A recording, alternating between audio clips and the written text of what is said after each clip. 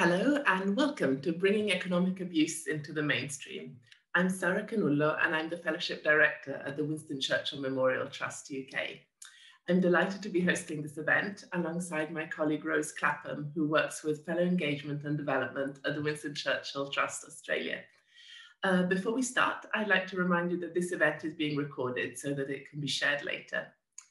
The Winston Churchill Memorial Trust in the UK and Australia were founded in 1965. The Trust provide overseas research grants to allow British and Australian citizens to travel overseas and conduct research in their chosen fields. The grants we provide are not academic. They support outstanding individuals from across society in conducting practical research anywhere in the world and find innovative solutions to real world problems. Both trusts have responded to the COVID-19 pandemic by allowing fellows to take all or some of their fellowships online. Uh, when fellows complete their research, we support them in disseminating and sharing their findings with others, and that's why we're here today. I'm delighted to introduce two Churchill Fellows and not-for-profit founders who've worked hard to increase recognition of economic abuse as a form of coercive and controlling behaviour within the context of domestic abuse. Their research has supported victim survivors who are still too often left facing devastating economic consequences when perpetrators are too rarely held to account. This session will look at the latest developments and identify key changes needed to better support people experiencing economic abuse. Our first speaker will be Rebecca Glenn, a 2019 Australia Fellow. Rebecca is the founder of the not-for-profit Centre for Women's Economic Safety, She's also the Assistant Director of Insight Exchange, a domestic violence service management, working to inform and strengthen social service and systemic responses to domestic and family violence. Before mo moving into the domestic violence sector, Rebecca worked in financial well-being at the Commonwealth Bank of Australia and was previously the founding CEO of not-for-profit organisation Financial Literacy Australia. In 2019, she received a Churchill Fellowship to investigate overseas responses to economic abuse. Our second speaker will be Dr. Nicola Sharp-Jeffs, a 2016 UK Fellow. Nicola is an expert in economic abuse as it occurs within the context of coercive control. She has worked in the violence against women and girls sector since 2006 and held policy, influencing and research roles before moving into charity leadership. In 2016, Nicola traveled to the United States and Australia to explore innovative responses to economic abuse. Her determination ensured that women in the UK have access to the same responses by establishing Surviving Economic Abuse in 2017. The charity's mission is to raise awareness of economic abuse and transform responses to it. In October 2020, Nicola was awarded an OBE in the Queen's Birthday Honours for services to victims of domestic and economic abuse. I really hope you'll enjoy this event. There'll be an opportunity to ask questions after the presentation, um, but you can put your questions in the Q&A box at any point during the presentation and they will be picked up later. Um, so I'll hand over to Rebecca to begin our session.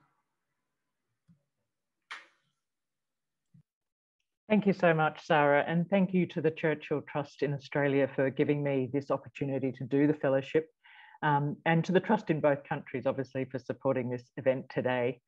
Uh, I'd like to start by acknowledging that I'm joining you today from Sydney uh, on the unceded land of the Gadigal people of the Eora Nation, and I pay my respects to elders past and present, and extend that respect to all First Nations people joining this webinar. I know there are people joining us from many different lands and places, uh, some of which, of course, are places that I would have travelled to to undertake this fellowship had it not been for the COVID pandemic, uh, including, of course, visiting Nicola in England one day. Um, but Nicola and I have met in person uh, in Australia back in the day when one could travel internationally. Uh, and that meeting actually sowed the seeds for why we're here today, for me at least. Uh, that was about five years ago. Um, you just heard I used to work at the Commonwealth Bank.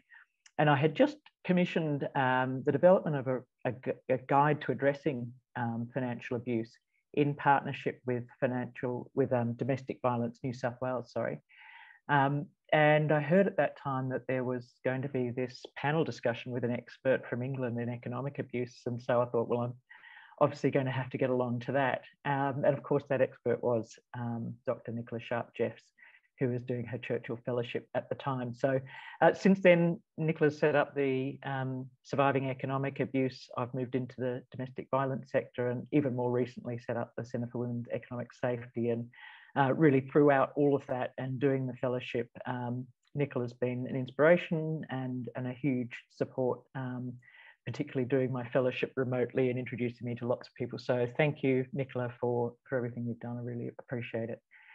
Um, today, I'm going to share uh, just a few highlights from my Churchill Fellowship, um, demonstrating some of the ways that economic abuse can be brought into the mainstream. Uh, in my report, you'll read a lot more about the work of surviving economic abuse than I'll share with you this evening, because this evening we have, or this morning, we have the opportunity to hear from Nick um, herself. Uh, so my fellowship, I'm just going to share my screen now. My fellowship was awarded to um, investigate responses to women experiencing uh, domestic economic abuse in the UK, the USA and Canada. Uh, and instead of traveling to those places last year, as was the plan before COVID, um, I've actually spent uh, my summer, the summer of the Southern Hemisphere, so December through February, on video calls uh, with people I would otherwise have visited. So as part of my fellowship, I interviewed 32 people representing 23 different organisations. Uh, I suspect that many of the people joining us today are familiar with the term economic abuse, but for those who aren't as familiar, it's basically referring to a form of domestic and family violence in which one person restricts or exploits another person's economic resources in a way that threatens their economic security and potential for self-sufficiency. So that could look like one partner controlling all the money or withholding necessities, uh, sabotaging their partner's ability to earn an income or building up debts in the other person's name. There are many different tactics, um, but usually economic abuse is not the only thing going on. It's usually co-occurring with other forms of violence and abuse.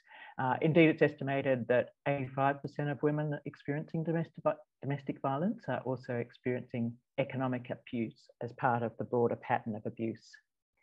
Uh, I'm not going to be sharing any more detailed descriptions of abuse than that. I can't speak for Nick, but um, you know, if this does raise any issues for you, any of the content today, please feel free to step away, um, seek out a friend or, or contact a specialist helpline. Uh, in Australia, you can call 1-800-RESPECT and, and if you are seeking um, assistance or where you might be able to find some more support for um, economic abuse, the Centre for Women's Economic Safety does have a directory um, with a range of um, uh, resources that you can find in your state or territory. Uh, so my starting point for the Churchill was, I guess, my concern that many people experiencing economic abuse don't know where to turn for support, and that's what drove um, the development of that directory. Uh, quite often, in fact, people experiencing economic abuse haven't actually named it in their own mind as what's happening um, within the scope of abuse they're experiencing. Uh, frontline services, of course, are seeing economic abuse all the time, uh, but often because of the way it's interwoven with other forms of abuse, uh, it's almost picked up as a side note. And of course, frontline workers need to focus on immediate safety needs, which may mean that some aspects of economic abuse are not being um, addressed.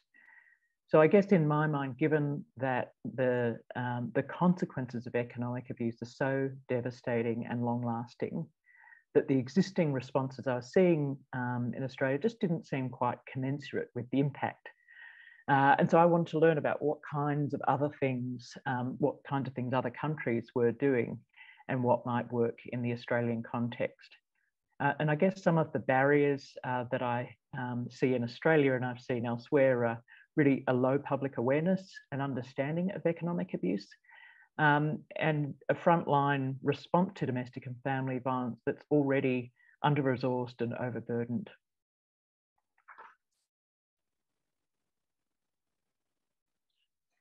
So I was interested in practices that placed minimal time or cost burden on existing domestic and family violence um, services, increased the capacity uh, to respond and the quality of responses, both inside the domestic violence sector and outside, uh, practices that were cost effective or scalable, uh, and, and practices that contributed to increased public awareness.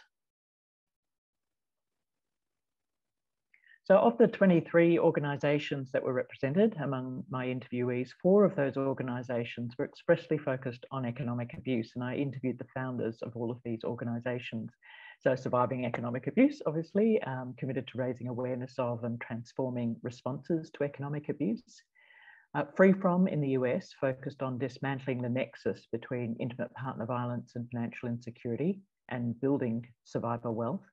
The Centre for Survivor Agency and Justice, uh, also in the US, um, which is focused on enhancing advocacy for survivors of intimate partner violence in support of physical safety, economic security, and dignity.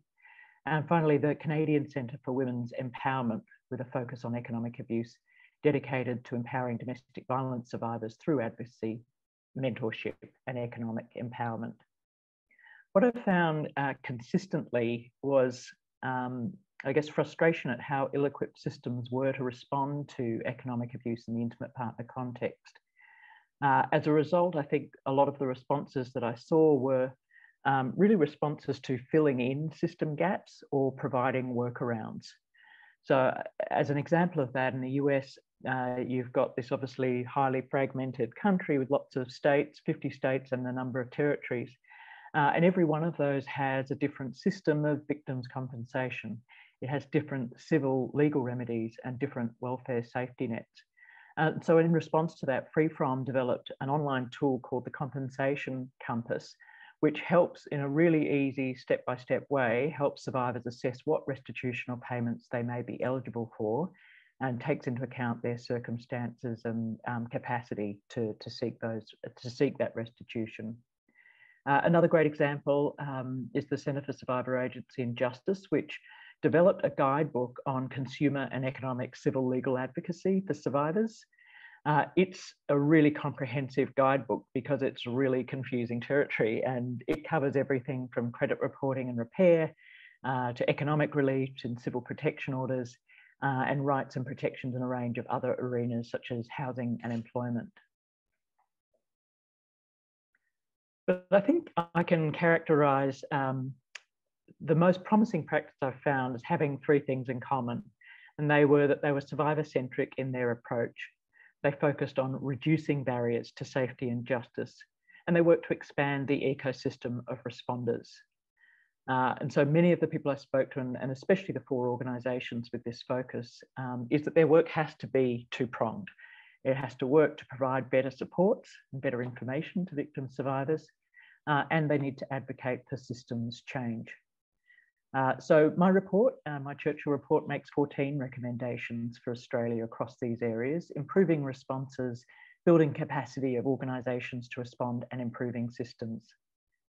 Uh, so I'm going to share just a couple of highlights from my fellowship with you and how they've translated into recommendations for, uh, for Australia.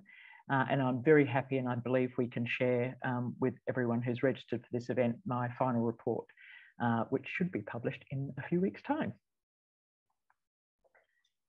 So the first highlight um, was something I saw in several places in the UK and a really interesting example in the US, um, which was direct cash assistance to victim survivors.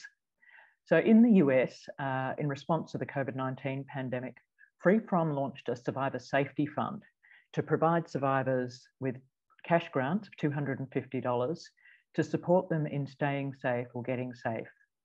And an interesting aspect uh, of this was the application for the grant, which was very short and simple, um, included an option to respond to a survey about how they were doing financially.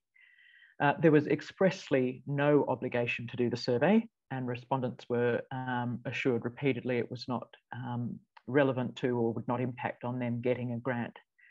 Um, but what's been so compelling about this piece of work is the opportunity to hear directly from survivors about their needs during COVID. Uh, and they were really, um, I guess, an amplification of the needs, the pre-existing needs. So the survey found that cash was the number one most urgent need to get and stay safe during the pandemic. And most survivors uh, named a figure between $700 and $800 US, um, about $1,000 Australian, as the amount they needed to stay safe. Uh, and, the, and the last thing that I found really interesting in um, the survey was qualitatively the power of receiving money with no strings attached, uh, which was remarkable. Uh, so I want to share just a couple of quotes um, from survivors from that survey, uh, which go to the heart of that. So the first one there, I would hope this is talking to their elected representatives. I would hope that my representatives acknowledge that most survivors already deal with financial abuse and control as to how we can or should spend our money. They should take the opportunity to support us and give us the freedom and trust us to use the help the best that we can. So in the US, a lot of the um, support that goes to people is by form of vouchers. Um, often they're very limited about where they can be used or what they can be used for. And the second quote there, as someone who is undocumented, getting relief, help, aid has proven very difficult, making an already hard situation worse. Adding roadblocks to funds in an effort to prevent folks who don't need it always hurts those that do. So that example um, in the US of someone undocumented has echoes uh, across all of the countries in focus of my fellowship. In the UK, as in Australia, there are people who can't access welfare support who would otherwise be eligible, uh, except for their immigration status. So another organisation I spoke with is Southall Black Sisters in London. Um, it's a charity that works with Black minority women who've experienced domestic violence and other gender-based violence. So in the UK, migrant and refugee women on a range of temporary visas are known as having what they call no recourse to public funds. Uh, and that's not just about not being able to access money or income support. Without that access to public funds, you're also ineligible for a range of other supports, including housing, healthcare, and emergency assistance. So, in response to that, Southall Black Sisters established the No Recourse Fund to help with emergency housing and living costs. That fund was set up in 2010, and they have been advocating before and since then um, for a safety net for women on temporary visas who are experiencing domestic abuse and unfortunately so far without success. Uh, so that fund, it's a small last resort fund. It supports women via non-governmental organisations who are also committed to assisting women to pursue other um, avenues for financial and legal help. Uh, a couple of the other um, examples of providing direct cash assistance, which just looks so promising. Uh, one is NatWest and Safe Lives. NatWest is one of the large banks in England, and it's partnered with uh, the domestic violence charity Safe Lives to provide direct cash grants to survivors uh, via uh, local domestic violence service providers. So the grants are typically around two to three hundred pounds. Uh, they can go up to a thousand pounds, um, but that two to three hundred, that's more like four or five hundred dollars Australian. Uh, there's no requirement on the survivor to apply. It's the domestic violence service provider who makes the call based on need and gives the money directly to them. Uh, and the last example uh, I want to share with you is a, uh, it's part of a broader initiative called the Whole Housing Approach, which holds enormous um, value, I think, in supporting someone's economic safety. But the, the element that relates to direct cash assistance is a component called the uh, flexible funding component. So again, uh, the funds are administered by a specialist domestic abuse service, uh, and they support victim survivors to achieve or maintain safe and secure housing. Importantly, there's no set list of what will and won't be funded and no requirement to produce evidence. Um, victim survivors are simply encouraged to ask for whatever will make the most difference in their housing situation. Uh, and the, the amount of those payments was uh, usually between five and 600 pounds or around a thousand dollars Australian. And so what I really like about this is um, it feels like there's a movement, part of a hopefully a broader movement towards um, towards trusting survivors away from those paternalistic responses um, and working on the basis survivors know best um, that what their needs and priorities are. Uh, and promisingly, since I've finished my interviews in the US, the Biden Harris administration has pledged 5 billion, that's right, with a B, um, $5 billion uh, to community organisations to provide cash grants to survivors in need. And that need can be daycare, it could be transportation for work, it could be a laptop um, to re engage with employment. So I think that's fantastic. So my recommendation for Australia is to expand flexible funding and direct cash assistance to victim survivors. Uh, we do have a model in the state of Victoria um, that, that I think we could adopt nationally, the flexible support package. I think that would be um, an excellent development. Um, the other highlight I wanted to share with you was um, the way in which particularly the four organisations with this focus were working right across the ecosystem to build the capacity of professionals to understand and respond to economic abuse. So that includes upskilling domestic and family violence workers, debt advisors, financial capability workers, local authorities, uh, also employers, banks, police, lawyers, and local communities. Um, and in every instance, there's you know there's a need to adapt the content to the context. So um, I saw everything from you know a one-hour talk or a webinar like this, um, or a half-day training perhaps for police, or a multi-session program um, for perhaps domestic abuse workers. Uh, there were also a couple of programs designed to train the trainer so that domestic abuse advocates are then able to work with survivors. So examples of that in the US were uh, the Moving Ahead Through Financial Management curriculum, uh, which was developed by the National Network to End Domestic Violence and the Allstate Foundation. Um, that's probably the largest program of its kind that I saw. It's been delivered to something like 10,000 advocates so far. Uh, and another newer program uh, was developed by FreeFrom, which is the Survivor Wealth and Wellness Certification Program.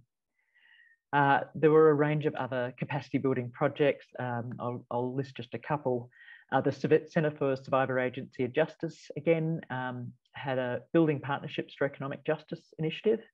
Um, so this is a place-based program that develops partnerships between domestic violence advocates, consumer rights advocates, and lawyers. Uh, and it's really working to break down the silos to be able to build capacity of organisations in support of the economic needs of survivors. Um, another one was uh, Futures Without Violence, an organisation I haven't mentioned yet, uh, based in Washington, D DC.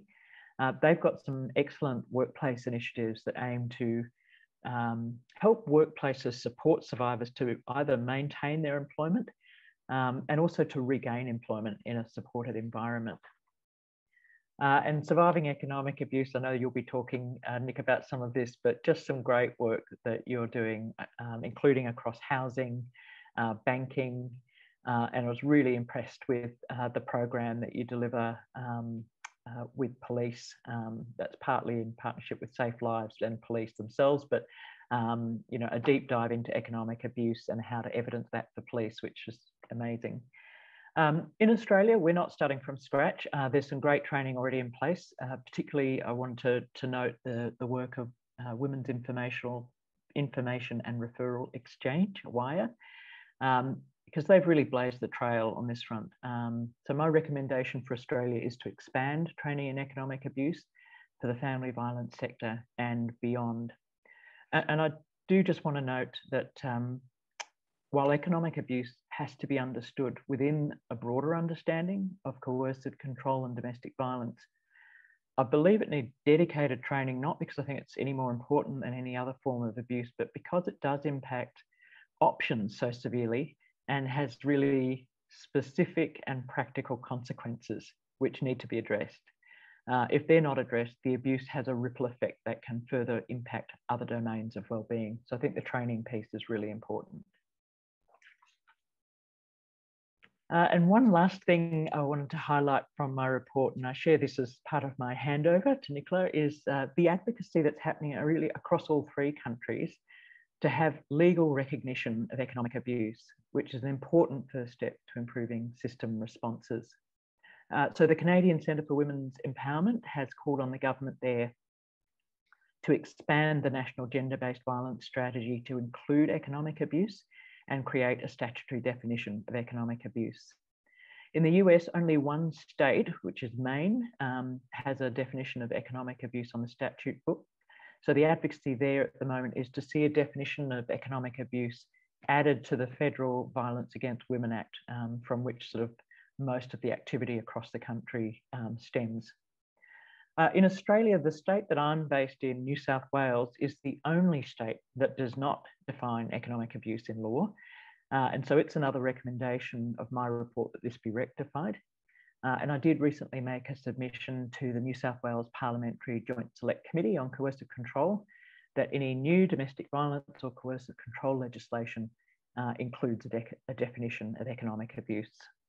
So all I can hope is that we might follow uh, the success of surviving economic in the, uh, abuse in the UK, uh, which has been instrumental in ensuring that economic abuse be included in the UK's new domestic abuse bill, uh, and further has successfully advocated for the bill to incorporate post-separation abuse, which was not originally covered.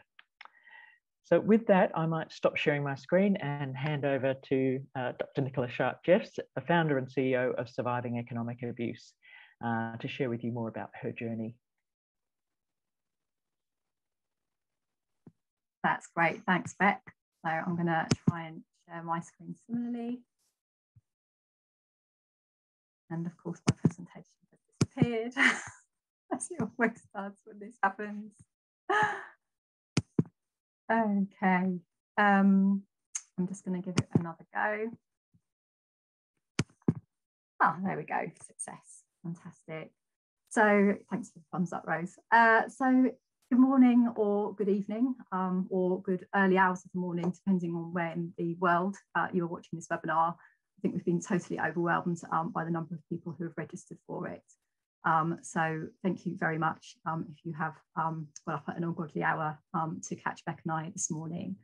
and to thank both of the trusts in the UK and Australia for supporting this event. Uh, it's kind of really exciting to kind of bring together this global picture and to be able to share it with you this morning. So as um, Sarah said, I undertook my Winston Churchill um, Fellowship back in 2016. Uh, I still kind of see it as a kind of moment that kind of changed everything for me, um, altered um, all of my life in very many ways. Um, it was the beginning of um, the story, which is surviving economic abuse. as Sarah said, after I'd travelled and seen what was being done in other countries, it just felt wrong that victims survivors in the UK didn't have access uh, to some of those great initiatives, which Beck has already spoken to. Um, so it was a little bit scary, but I just, you know, decided that that work had to be done. So today I'm just going to tell you a little bit about that story, um, and I really just want to kind of reinforce and kind of interweave into it um, the difference that the, um, the fellowship made for me. So in 2016, I'd actually been researching economic abuse for nearly a decade. I'd started to work um, for a domestic um, abuse charity back in 2008, where I worked very closely with victims and survivors and was really struck by the economic impact of abuse and the experience of economic abuse in and of itself. Um, and I think what really drove my passion, I suppose, was that I was speaking to victims and survivors that could have been myself you know, this can happen to anybody. And it's when an abuser either takes advantage of some um, economic dependence um, or creates um, seeks to create um, economic dependence um, within a relationship. Um, and I think seeing how victims and survivors were struggling in terms of the process of rebuilding their lives and how their potential had been thwarted. That's not to say that I don't think they would not necessarily have gone on to reach their full potential, but you could just see how they were spending sort of many years and a lot of time and energy trying to deal with the impact of um, abuse um, broadly and economic abuse specifically. Um, and it just, you know, made me really angry because, you know, there was this one person who'd sought to control their life in such a way um, that it stopped them from sort of achieving what they wanted to do in life um, and their ambitions. Um, and in 2011, I actually went into um, academia um, and I went in purely because of this study that I'm showing you.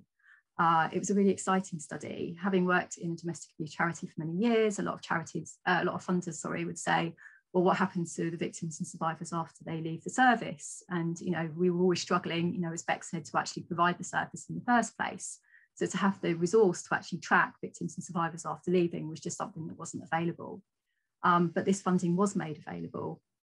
And through the Child and Women Abuse Studies Unit at London Met, which is where I was working in partnership with a frontline organisation called Solace Women's Aid based in London, um, we actually tracked um, 100 victims and survivors and their children after leaving the services um, at Solace Women's Aid to see what their process of rebuilding their life looked like. Um, and it's probably the greatest privilege um, of my life still, um, leading that study catching up with women over a three-year period across five interviews and looking at how their life had changed from, you know, kind of crisis, um, accessing services to kind of rebuilding and moving forward. Um, and I talked to them about many issues across many different um, areas of their life. Um, but unsurprisingly, I was particularly interested in their economic well-being. Um, and I think you can see uh, from this chart that um, the trajectory, I suppose, of their economic well-being um, started pretty low. we're looking at the green line and stayed pretty low. and also that alongside physical violence, which sadly also continued. So again, it's one of those big myths really around domestic abuse that you should leave the abuser. Um, that's, you know, that's the answer. But of course, we know coercive control continues post-separation and actually at the point of separation and in the six months after is a time when um, a victim survivor is at increased risk of homicide. So just leaving sadly doesn't mean that the abuse stops. And certainly in relation to the economic abuse piece, um, because you don't require that physical proximity um, in the same way that you do physical abuse, for example, it was you know, a particularly powerful way um, of continuing to abuse. Um, but what I would say is that economic and physical safety are absolutely interlinked. Um, and again, back to kind of Beck's point about how sometimes this isn't seen as an immediate safety need. Um, actually, it is because if a victim survivor doesn't have the economic resources they need to leave in the first place, how are they going to exit a situation uh, where they're being physically abused? Um, it just means that they're going to stay in a situation they don't want to be for longer and experience more harm as a result. So it's something we always really, really push that economic stability actually underpins um, physical safety. Um, so I suppose um, the chart here shows what we were trying to show um, was increasing space for action for victims and survivors. So to go back to kind of Beck's definition, which is about the control um, of one partner by another, um, we saw that control is all encompassing and we know that is coercive control. And certainly it's recognised in the UK um, through the Coercive and Controlling Behaviour Offence in Serious Crime Act of 2015. Um, but the flip side of coercive control is space for action. And what we were looking to do was to see how space for action increased um, when coercive control decreased. Um, as I said, post-separation abuse was something that meant space for action didn't increase in the way victims and survivors would always want it to. Um, but also, again, Beck has spoken to those systems issues. So sometimes it was actually the broader environment that they were working in um, or seeking to rebuild their lives in um, that was preventing them from doing what they wanted to do. Um, so again, back to what Beck was saying, it's all about kind of expanding that ecosystem. So all of the work at Surviving Economic Abuse is about how can we um, expand the space for actions for victims and survivors, um, both at the individual level all the way through to what government's doing to facilitate that space for action. So I was aware of good practice internationally um, and decided to travel to the US um, in 2016 um, and then Australia in November 2016. Um, and as I said um, in my intro, I think at that point it made me realize that I needed to be the change that I wanted to see. I'd kind of sat around for 10 years waiting for someone to do this and nobody did. So, right, okay, I was going to have to get on with it. Um, but what I would say is that the Winston Churchill Fellowship really provided me the foundations um, in which to do that you know, I didn't kind of start with a blank bit of paper. I had the recommendations in the same way Beck now has her recommendations um, that I made within my fellowship report. So that really enabled me, I think, to be really strategic from the beginning. And what I would also say is that it was just so valuable having that international learning um, to draw on. Um, and it brought me into contact with a kind of a community of people like Beck um, who cared as deeply as I do um, about this issue and have kind of informed my thinking about it um, and inspired me ever since. Um, and Beck mentioned Wire, um, which is a fantastic organisation um, in Melbourne, led by Julie Kun, who's their CEO. I don't know if you're listening, Julie, but if you are, she was the person who kind of facilitated my access to Australia and made a huge difference. So I would just like to, to recognise that. but, you know, as Beck said, we would love to have caught up, you know, during her fellowship. she was all planned to come to the UK and she was in our calendar um, and it was really disappointing that she couldn't make it. Um, but we have met back in 2016, um, and that photograph of the Commonwealth Bank Beck is just reference um, to the fact that we met back then, um, and um, and hopefully we'll meet again one day in the future when we're allowed to travel. So I suppose the key thing for me, and I think this was kind of most of my learning from Victoria actually in Australia, because I just gone to Australia just as the um, Royal Commission into Family Violence um, kind of um, inquiry was concluding and had made a number of recommendations specifically around economic abuse was that you really needed to recognise economic abuse within the national sort of policy legislation um, kind of context um, if you were going to create sort of a, a framework for responses really because you kind of needed to acknowledge that this was a thing um, and timing is everything really um, so sometimes I you know I'm a bit hard on myself for waiting 10 years to do this work but actually in many ways I think I did it just at the right time um, so I'd kind of decided in January 2017 that I was going to set the charity up. And then in June 2017, uh, the Queen brought forward new legislation um, in the Queen's speech, um, the Domestic Abuse Bill. And, um, you know, that was just fantastic because it meant already I kind of had a tool uh, to kind of start working, to start influencing recognition of economic abuse. So the Domestic Abuse Bill um, introduces for the first time a statutory definition of domestic abuse um, and we've just worked really, really hard from the beginning um, to influence government to recognise economic abuse within that statutory definition, um, which they did, which is very exciting. Um, and for those of you um, following the bill, um, it actually goes back to the Lords tomorrow after having been through both houses now, and we're very close to receiving royal assent. Uh, so, you know, very, very soon, economic abuse will be recognised in statute. And I think the other really exciting thing for me was um, working with the Westminster government um, because the domestic abuse bill mostly covers um, England and Wales. There are certain provisions already that exist in Scotland um, and Northern Ireland. Um, was that we were able to kind of work to actually define um, what economic abuse was in statutes. So, you know, for someone who's worked in this area for so many years to actually have a definition is also really exciting and it very much draws on the um, Adams et al. 2008 definition uh, that Beck showed. So, you know, that's a great thing that I was able to feed back uh, to Adrienne Adams, um, based in Michigan in the US, who's someone I also met, um, you know, to kind of really demonstrate, you know, how her academic research is absolutely informing uh, responses to victims and survivors in the UK going forward.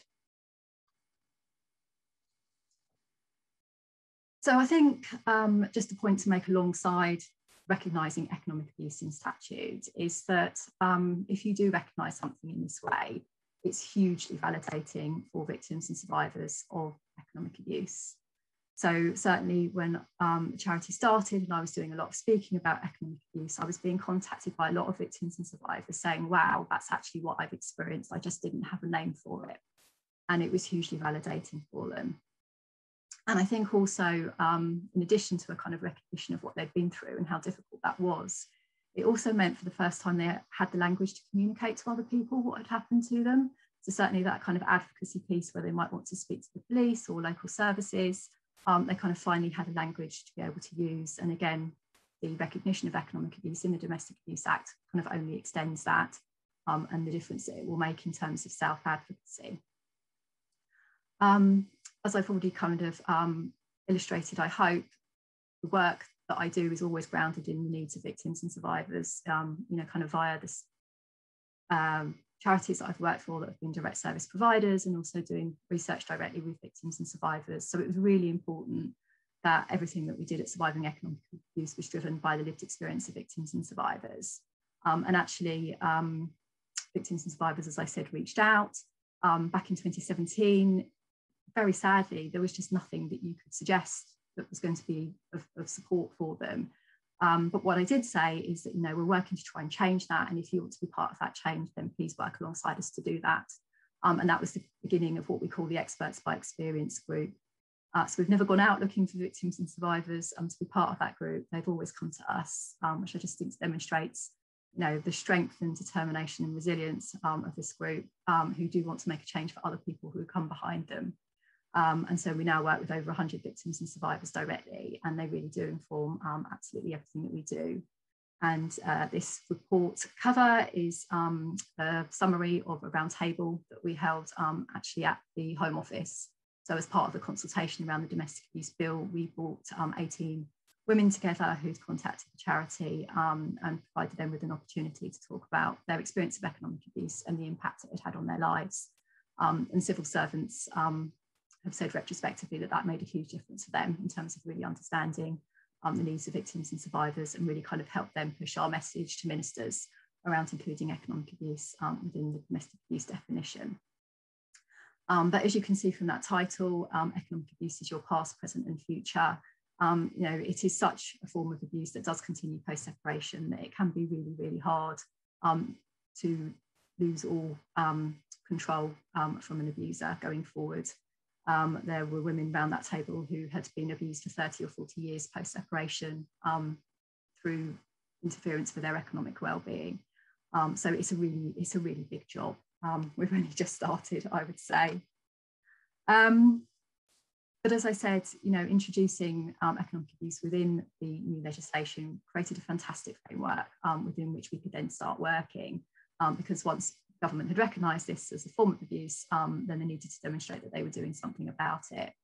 Uh, so we were fortunate to be successful in putting forward project proposals with a number of our partners to work with specialists um, across a range of different areas. Um, so that was money and debt advice, um, housing um, and policing. And I think um, Beck has spoken to all those different things. So there is so much that I could talk about in terms of what we've done in the last sort of four to five years, but I just wanted to focus on just a couple of examples, um, which are really kind of inspired by my travels via the fellowship. so the first was our work in banking. Um, and again, through the Home Office, we were able to um, start working with banks and building societies in the UK.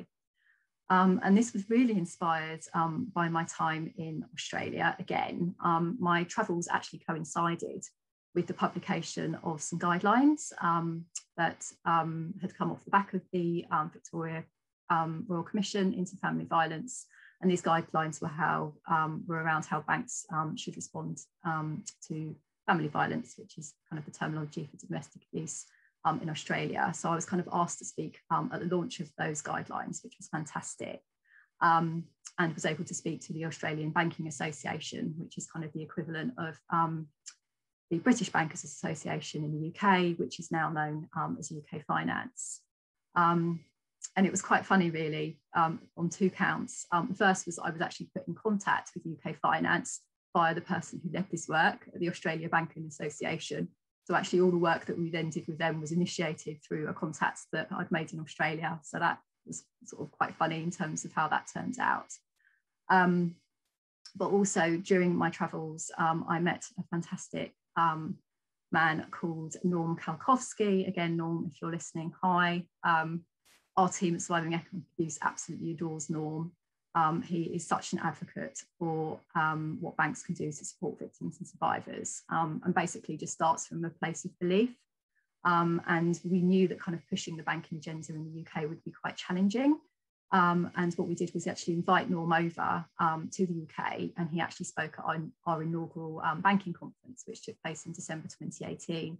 and he also attended a number of meetings with me at the Home Office. we met with Majesty's Treasury. Um, we met with a number of banks and building societies with UK Finance, and he really kind of described, um, you know, the difference that could be made in this space, um, you know, in a way that I just couldn't, um, because he came from and represented um, what we were trying to change.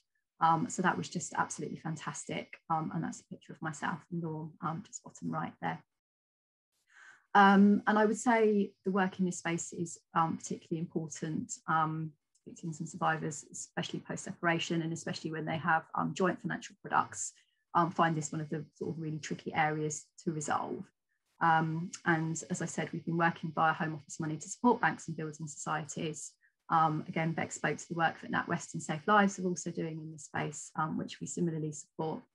Um, but certainly a big partnership that we've developed over that time is with Lloyds Banking Group. so one in four of the UK population work with Lloyds Banking Group, um, and we have now developed a partnership with them. Um, and they are so committed to this issue that they have actually set up a specialist domestic and financial abuse team, which sits within their broader customer vulnerability team. Um, and as of September last year, a member of our team is permanently seconded to that team just to make sure um, that we're able to kind of feed our expertise um, and advise on safety issues for victims and survivors. Um, so I think one of the things that I dreamed about happening um, when I set up the charity um, is kind of illustrated by that development.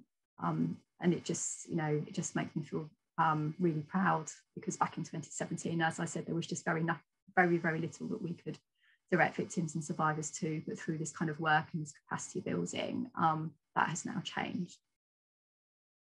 So the other thing I wanted to draw on was learning from um, my visits to the US. Um, we know that one of the biggest issues, again, for victims and survivors of economic abuse is coerced debt.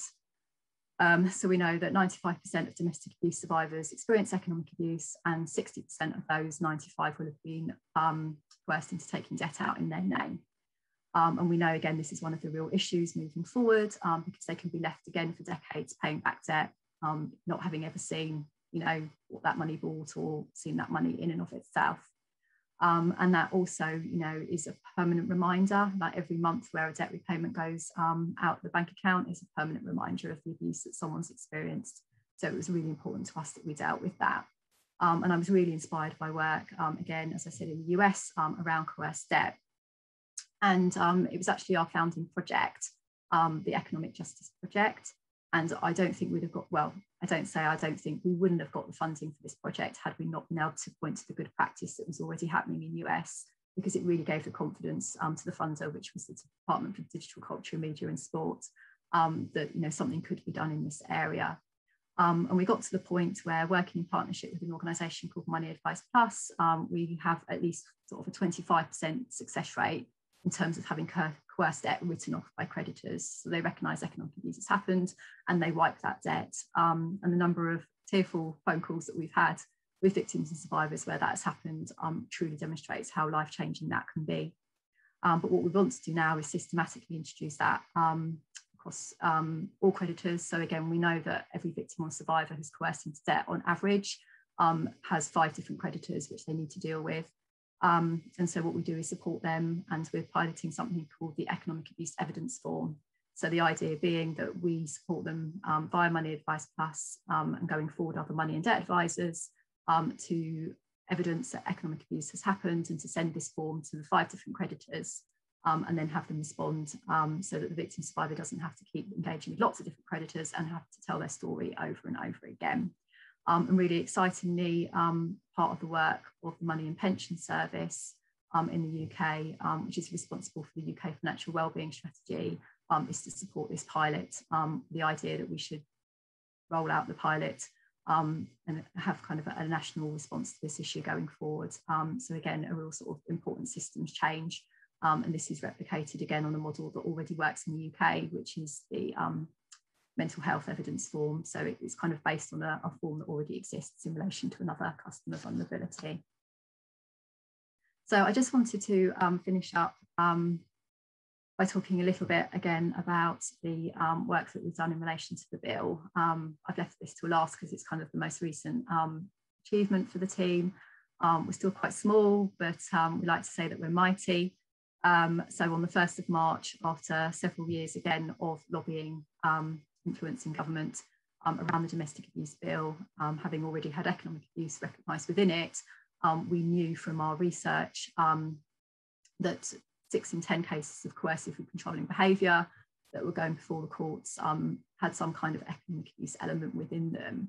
Um, but sometimes the separation between or the point at which someone's left an abuser can sometimes be a little bit kind of blurred um, and the legal provisions for someone experiencing economic abuse post separation um, weren't um, appropriate really for economic abuse. They kind of focus more on the kind of physical abuse side of things. Um, and so we argued that um, you know, if economic abuse was a form of coercive controlling behaviour and it did happen post separation alongside other forms of abuse, then actually we needed to extend the provision um, within seven, section 76 of the Serious Crime Act so behaviour could be recognised post separation as well. Um, and we worked um, really hard and in partnership with an academic um, called Cass Wiener back down in um, Sussex University um, and with uh, Jess Phillips in the Commons and then Baroness Lister in the Lords. Um, and we were one of the few charities who kind of pushed an amendment which the government accepted. And on the 1st of March of this year, it accepted our amendment and has kind of drafted that within the domestic abuse bill as it currently stands, um, which is very exciting. Um, and again, just hearing from the victims and survivors um, that we've been working with who have driven this work from the very beginning, you know, who would communicate that one of the real issues for them moving forward was that there was no way of criminalising um, this behaviour that, as I said, many have continued to experience for decades. Um, you know, again, their response um, and we were able to achieve this, you know, just kind of really, again, validated the work of the team more broadly, I think, um, because we know what a difference that will make to victims and survivors. So I think just in summary, um, our approach is all about that ecosystem. Um, as Beck talked about, we work with individuals in terms of awareness raising. That might be an individual experiencing economic abuse. It might be an individual working on the front line to understand what domestic abuse looks like and economic abuse specifically in particular contexts. We work with professionals to try to improve their response to victims and survivors. Um, we then seek to um, influence the systems within which they work. You know, sometimes their own organisation won't have the policies and procedures in place that enable them to do what they want to do. So we can work with firms to change policies and procedures. Um, and where sometimes firms are regulated or organisations are regulated or sit within an industry, um, which is preventing them from do what they want. You know, we'll talk at the industry level as well, continuing always to increase that space for action in terms of what obstacles we can remove for a victim survivor moving forward. Um, and again, I think as the kind of the beginning and the end of my presentation has shown, that also extends uh, to the government level. Um, so kind of at the highest level, identifying the issues that we need to address for victims and survivors. Um, and again, having those barriers removed at that level. So I just wanted to leave you with some contact information. Um, again, as Beck said, um, sometimes you understand an issue differently when you've been um, listening to something um, that kind of um, frames it in a way that you might not have understood it um, previously. It can throw up personal experiences. It can also make you understand the experiences of friends, family, colleagues in a different way as well. So I would urge anybody who has been affected today and or who knows someone who is to check out our website um, in the UK and Beck's website um, in Australia um, because there are resources. And you know, I'm really pleased to say that for five years later, um, you know, there are things that we can do. So thank you very much.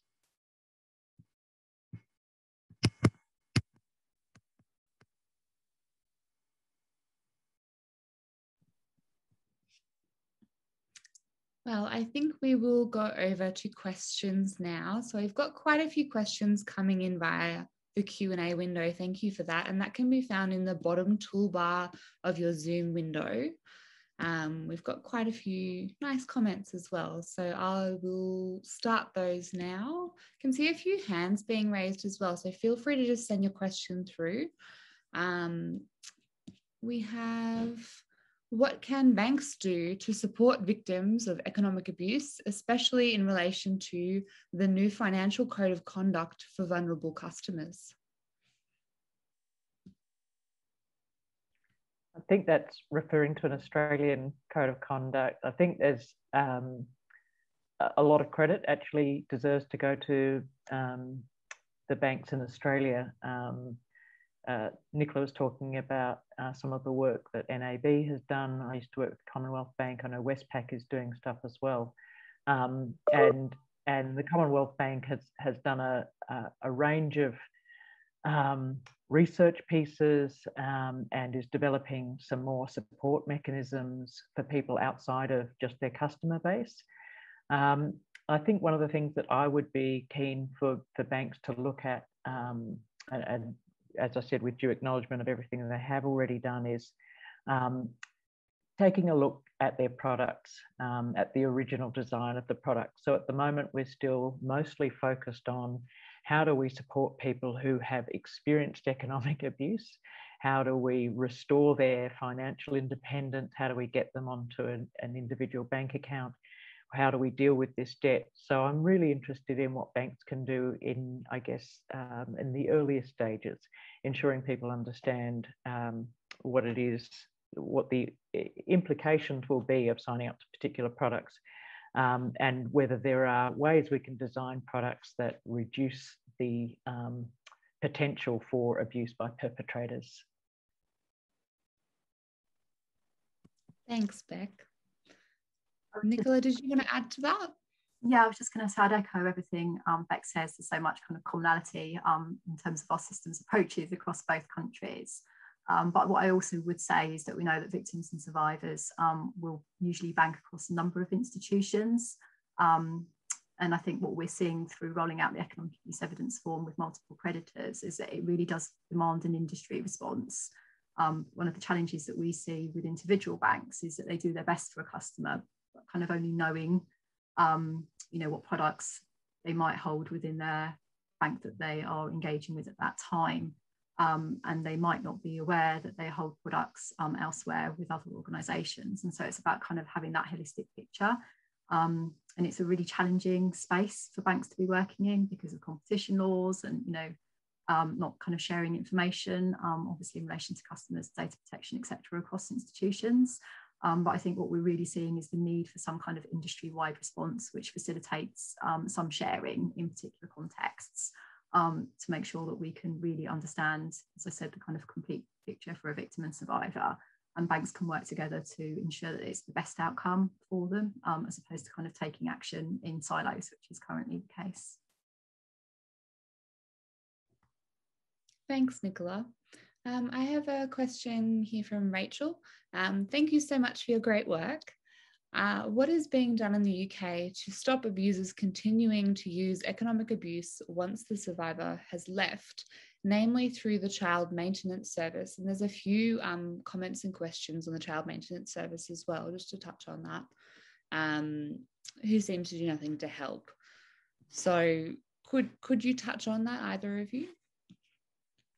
I mean, I can start in the UK context. I'm sure Beck will have something to say. She's kind of nodding in a in a way that she um, has lots to say in the same way that I do. Um, so I've already talked about post-separation abuse being massive, and we see the child maintenance system again as a system being used by perpetrators to continue that abuse post-separation. Um, so something that we did do and we published last week um, was a rapid review into economic safety needs arising for victims and survivors because of COVID.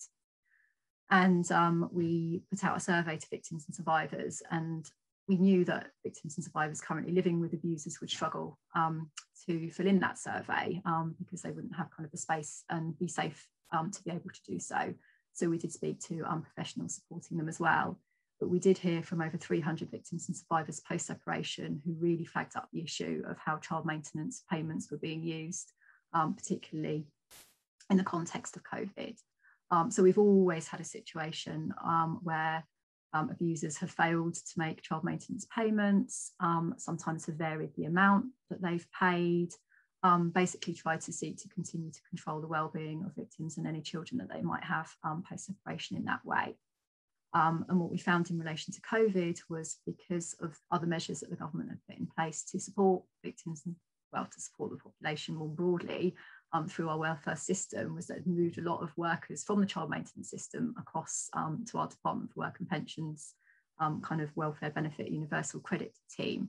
Um, and that meant that at the very least, you know, prior to that, you would have had to have provided, you know, evidence as to why you were going to stop making payments, for example, or might need to reduce payments. Um, we saw, as I said, they were already abusing the system and using the system. Um, and perpetrators use COVID in the um, excuse, um, you know, in terms of the economic impact, to just phone up and make claims that they could no longer afford to make those payments, and so stop doing so. And no evidence was sought in relation to that. Um, it was decided that that, you know, evidence would be sought a bit further down the line. Um, but for victims and survivors who themselves had experienced a negative economic impact, you know, of COVID um, and who were already struggling, you know, they kind of lost, you know, an income and we found from that survey that eight in 10 of victims and survivors had had a negative impact um, in relation to the child maintenance um, service. So, as I said, it's a massive issue generally. Um, there are a number of sanctions in place for non payment, but we don't ever see them used. Um, we hear really concerning practice. And again, it goes back to um, Beck's um, point about really training on economic abuse specifically. Um, you know, some organisations get domestic abuse general training, but unless they really understand economic abuse and how money and other economic resources are being used as part of that coercive controlling behaviour, and see how they are themselves within the systems that they work often manipulated by perpetrators, they don't really understand it. And so they'll say things like, well, you know, um, you know, despite the fact actually, you know, child maintenance system is set up for parents, you know, for one reason or another who can't come up um, with a solution themselves in terms of supporting children you know it's it is designed for survivors of domestic abuse but you will hear things like well can't you just go to the perpetrator and ask them to start paying um, so some really kind of dangerous practice um, is also introduced in that way um, so I think it's a very long-winded way of me saying it's a massive issue, um, especially post-separation, um, and one that we hear about all the time from victims and survivors. So in terms of kind of our work going forward, Um, as I said, we're informed by the needs of victims and survivors, and we will consult in terms of what our next big campaign is. But certainly, one of the issues that I think are kind of in the running um, for our next big campaign, um, and which we kind of work with other um, charities in the UK, like Gingerbread, um, for example, um, which is kind of a charity for one parent families, will be to kind of focus our attention on the child maintenance system and the reform that needs to happen there. And I, I would add to that, obviously, it's a massive, massive problem in Australia as well. Uh, and it intersects with a number of systems which are being used or even weaponized by perpetrators to avoid paying that child maintenance.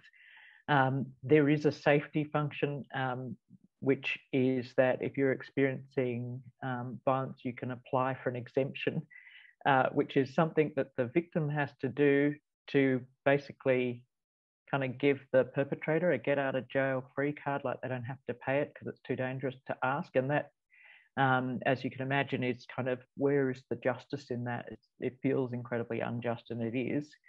Um, you've got perpetrators manipulating the tax system to um, uh, make their income look smaller and smaller. That's if they're even bothering to engage with the tax system at all. Um, and my uh, real concern at the moment is the way um, children have become pawns in a, um, a battle over reducing child custody payments, um, child's um, support payments.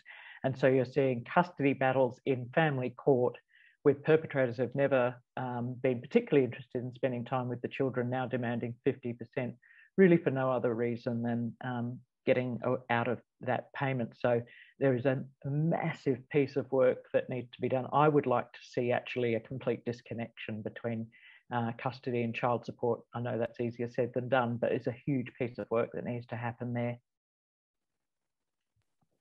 I would again echo all of that and just also say that what we're calling for is um, kind of guarantee that payments will be made. So if the non-resident parent doesn't pay, then the government should pay um, and then should seek to recover the money from the non-paying parent because we're just seeing a system where the non-paying parent is not being um, chased at all. But I think if the government was having to make that payment, there would be more, um, you know, motivation maybe to uh, to chase that payment. So um, that's another potential solution um, to ensure that there is that kind of security and that um, that knowledge that that money is coming.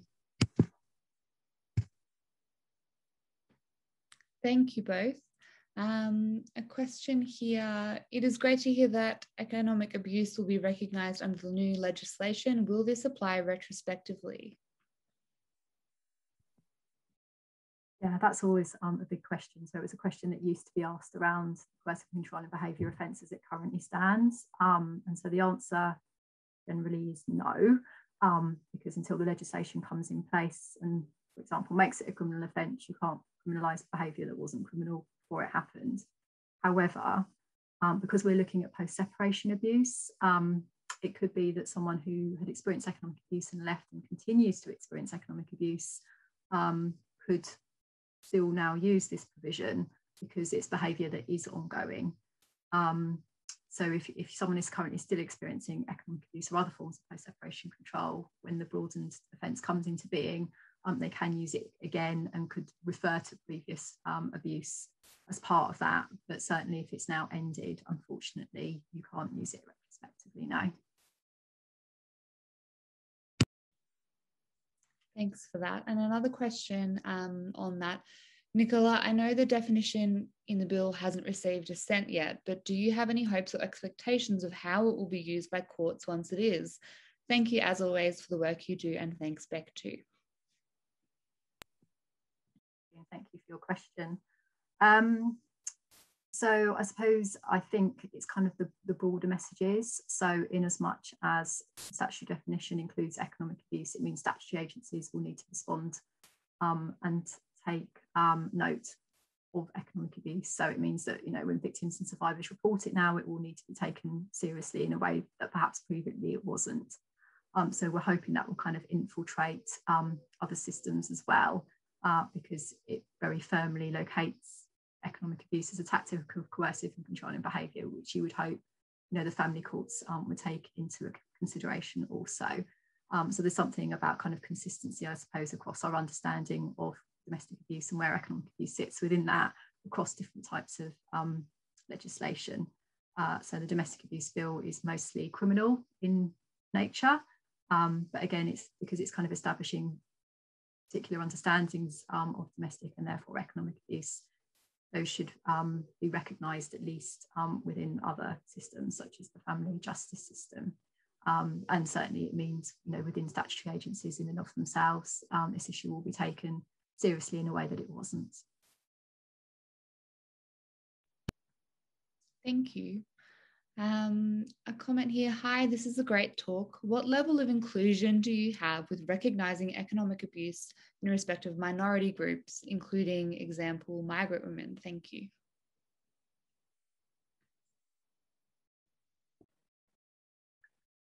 Uh, so I, certainly a lot of the research that I've looked at has um, been pretty representative. Uh, I think in the US especially, and it's not to say it's not happening elsewhere, but um, there's a, a, very significant representation of um, women of colour in the research. Um, and in fact, I think that applies in terms of what I've seen in, in the UK and Australia. It is interesting that in the US, there's, um, there's actually a debate about how to convince um, systems and communities that uh, white middle class women also experience economic abuse. So I spent some time with some organisations um, that work with what they call women of affluence.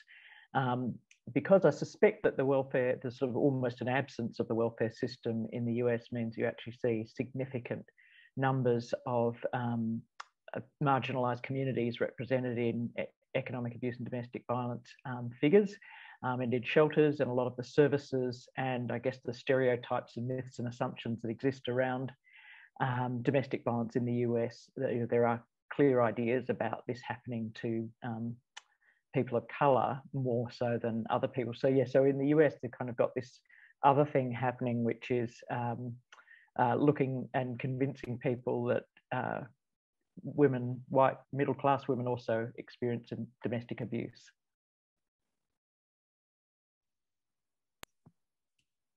I'm doing a bit of work at the moment actually and kind of struggling to find um, information in relation to race um, in terms of overall prevalence. Um, so I think we understand certain ways in which um, women will experience economic abuse and perpetrators always personalise coercive control.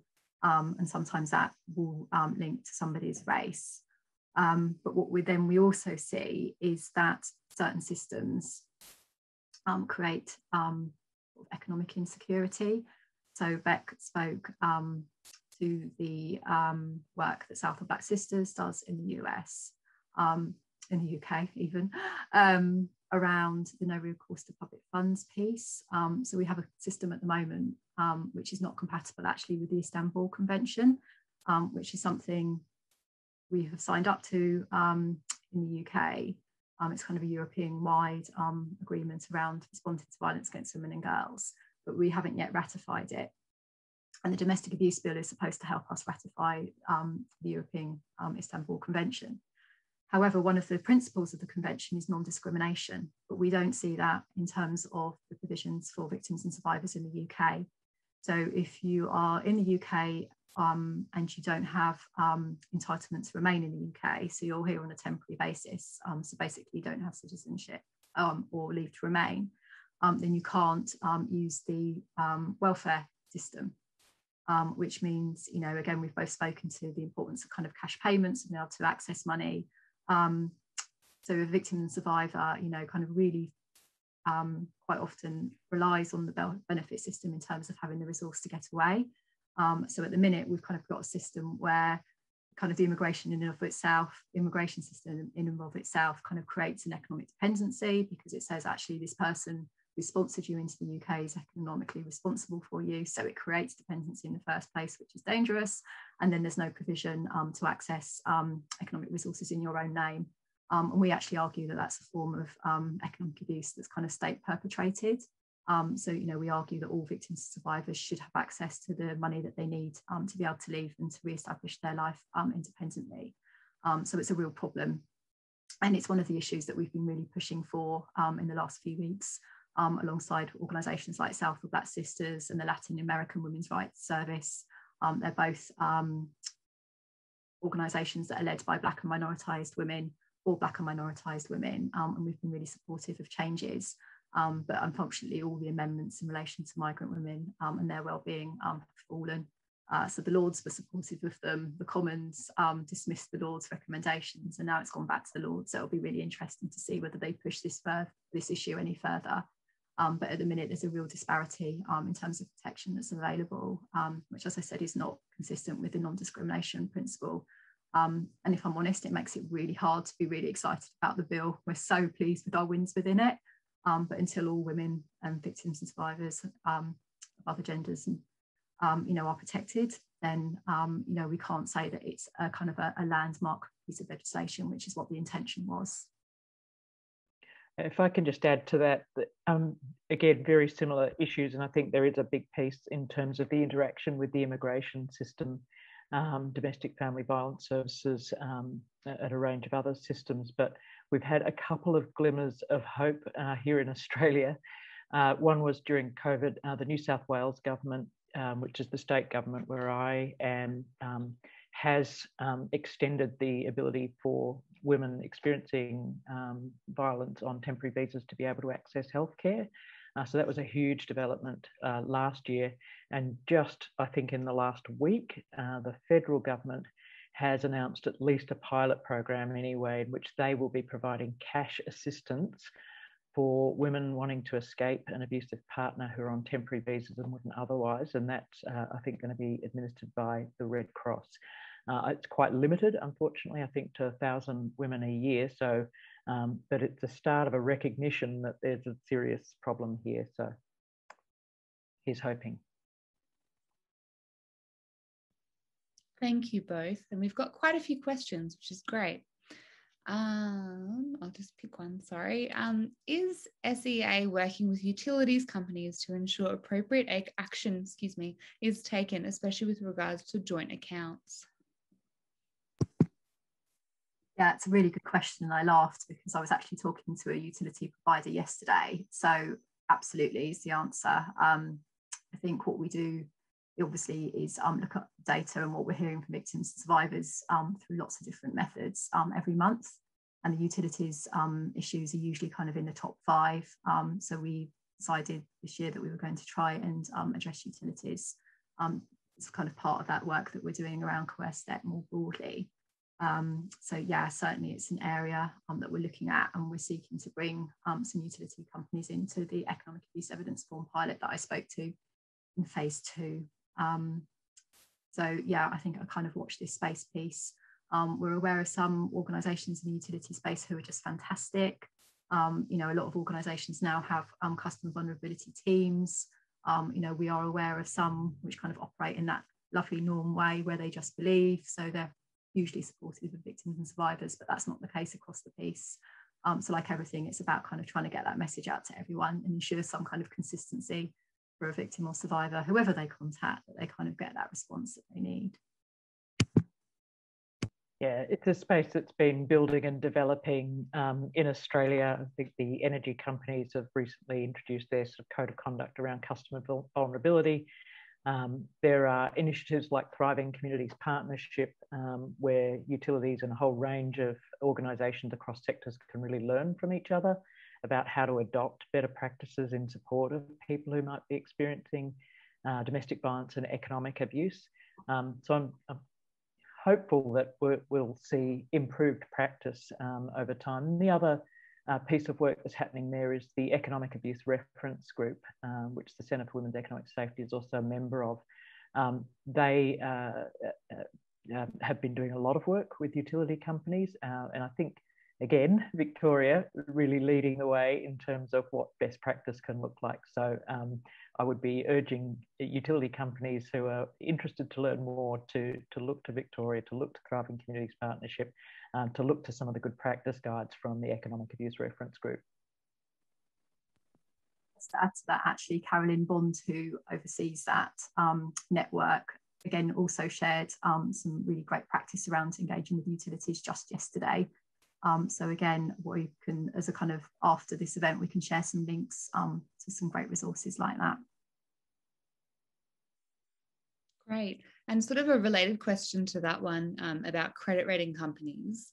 Um, hi, and thank you so much for the webinar and all the work you have done. I'm wondering if credit rating companies are starting to approach the issue, it would be great to have a way to explain that a low rating can sometimes be the result of economic abuse. Thank you.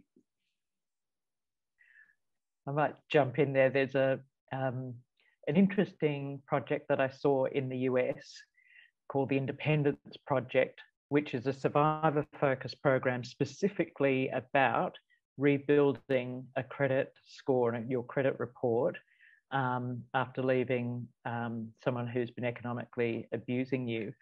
Um, in the US, uh, credit reporting is much more sort of, I guess, advanced than it is certainly in Australia. I'm not sure about in, in the UK. Um, and it can be used for almost anything for employment, for housing, for financial products, and so on. In Australia, it's been limited, but we're moving, we're just moving now to comprehensive credit reporting. So I think this is going to blow up. This issue is going to get much bigger.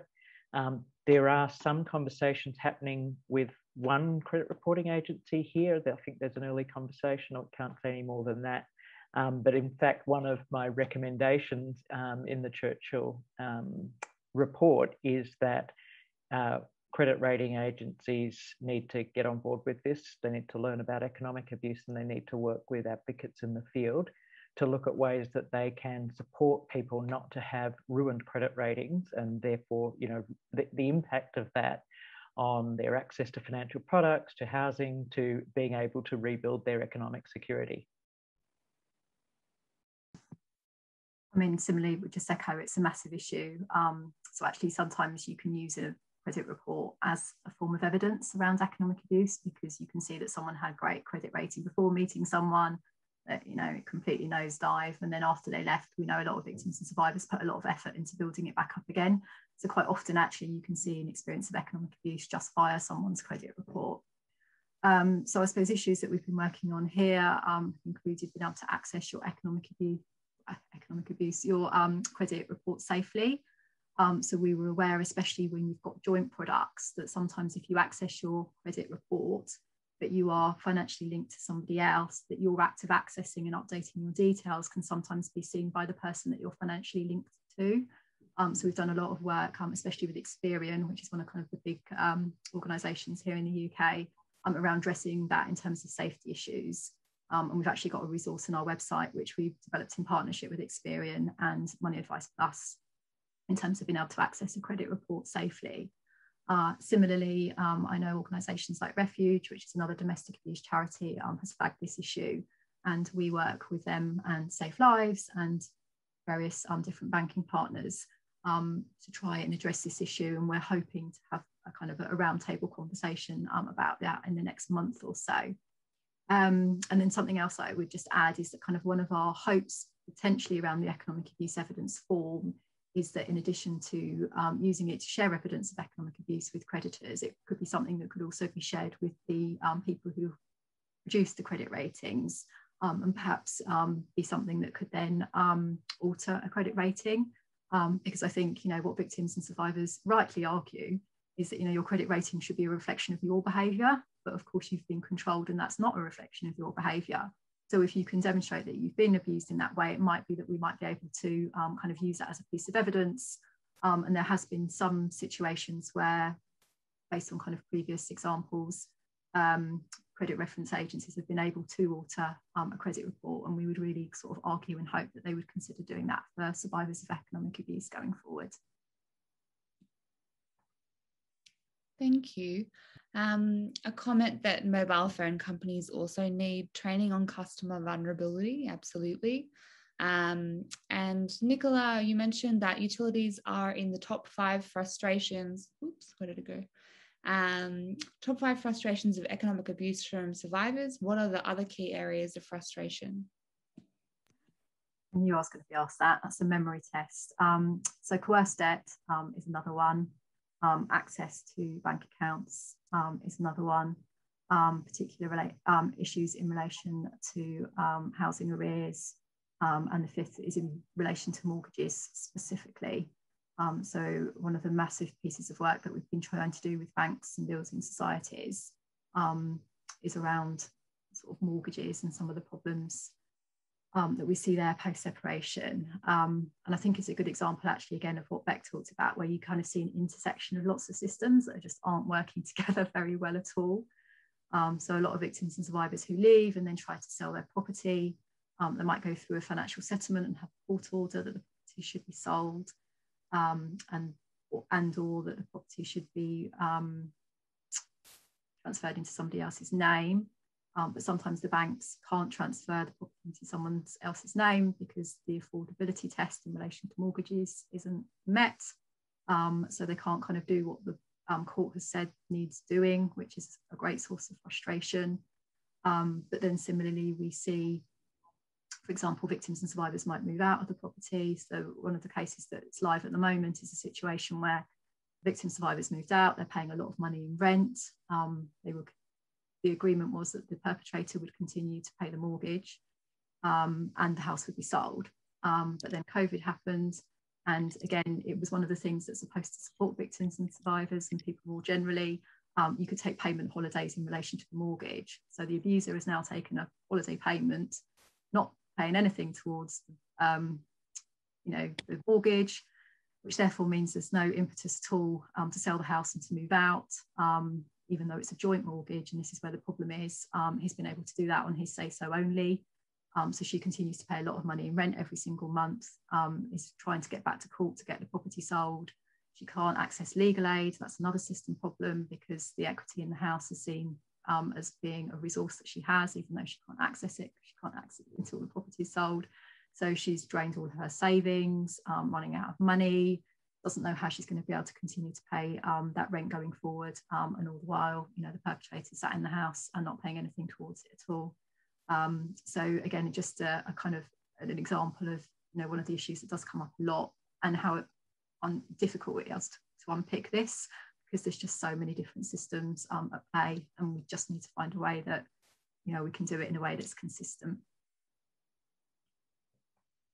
Thanks, Nicola.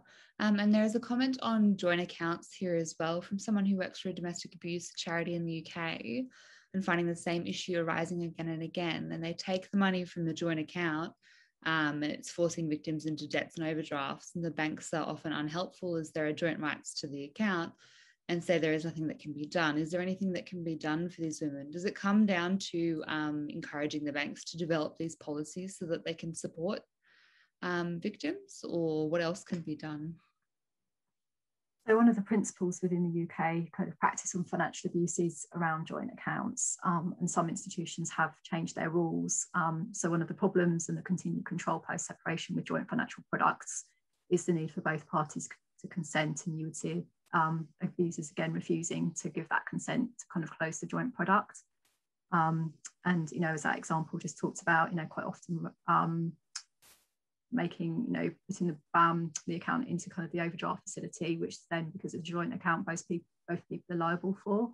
Um, and generally, what we see also is that abusers don't tend to engage with institutions. So the only person the bank can get hold of is the victim, and then they're the person um, who's being kind of chased um, for the debt, as it were. So we do have situations now where banks will close a joint bank account without the um, abuser's consent um, that's kind of been recognised and it's in, ter in, terms and conditions of economic abuse um, is the case and they will do that. Um, and certainly, and I can't talk to the detail too much because um, I have a fantastic team now who know more than me in terms of this space.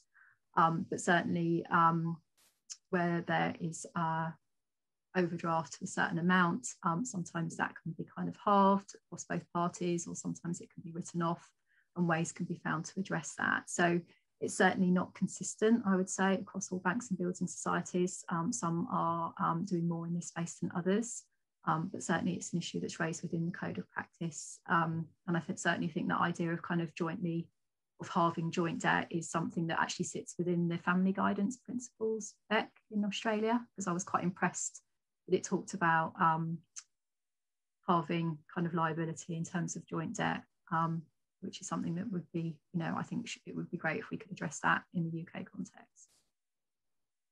the, the new code of conduct puts a much greater emphasis on um, banks not just putting it in a too hard basket, and they are required to um, not just work through um, a situation with um, uh, a couple who, if there's economic abuse happening, um, they can certainly put a freeze on the account or do other things um, where they can't contact the perpetrator because they don't want to be contacted.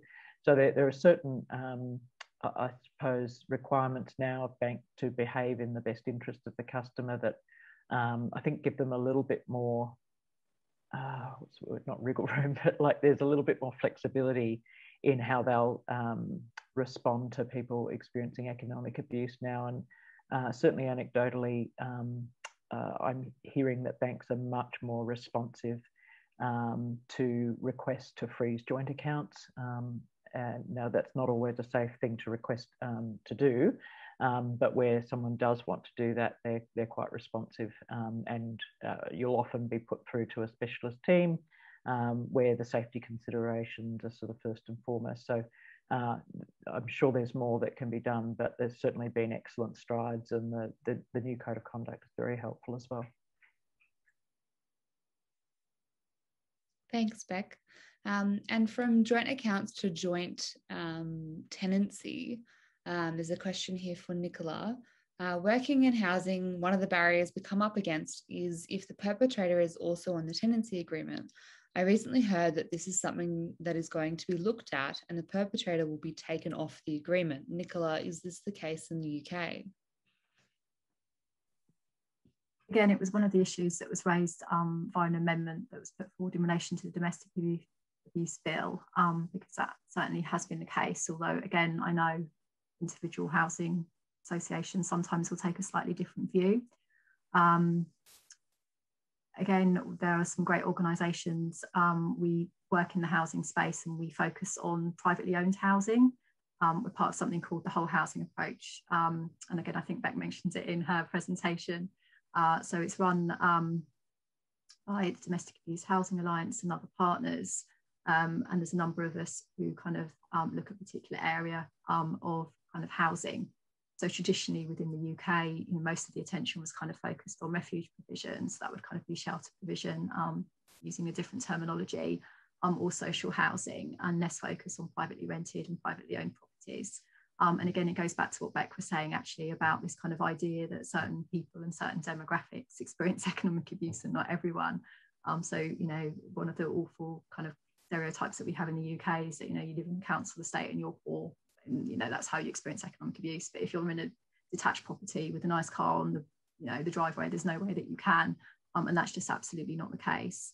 Um, so the focus is kind of looking at economic abuse across all different types of housing tenure. And as i said within the project we do that across the piece but focus specifically on privately owned.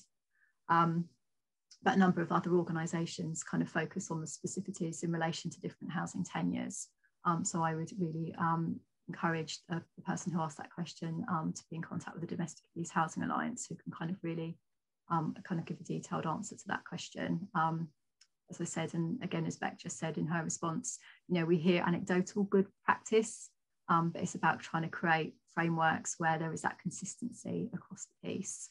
Um, something that I would say though that um, you know another sort of area of good practice is a reciprocal um, arrangement now where sometimes people are kind of struggling to leave a tenancy that they're in because actually they don't want to still be in that property because that's where the abuse happened and or the abuser knows where they are. And sometimes it's quite difficult to find another property if you're in social housing. Um, but there's a reciprocal agreement now across local authority areas uh, where people can effectively do swaps. Um, so there's some you know really great sort of innovative practice out there. Um, and again I just encourage people to go to the DAHA website to look for that. Thank you.